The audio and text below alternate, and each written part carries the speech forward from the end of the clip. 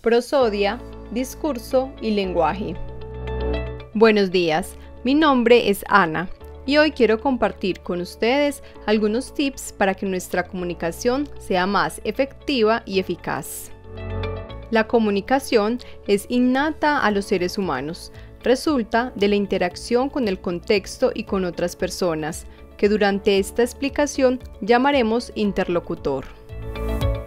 Recordemos entonces que la prosodia estudia los rasgos sonoros, por lo que permite establecer la correcta pronunciación y acentuación de las palabras. ¿Te imaginas si no la utilizáramos? Nuestro sistema de comunicación sería un caos, porque el significado y significante atribuido a una palabra perdería sentido, aún estando en un contexto determinado.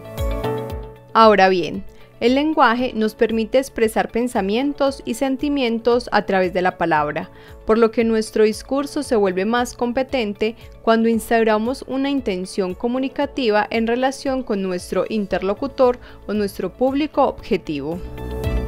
Recuerda, el lenguaje nos permite a través de diferentes sistemas interactuar con los otros, por lo que los signos orales, textuales y gestuales tienen un poder imperante en el uso de la palabra.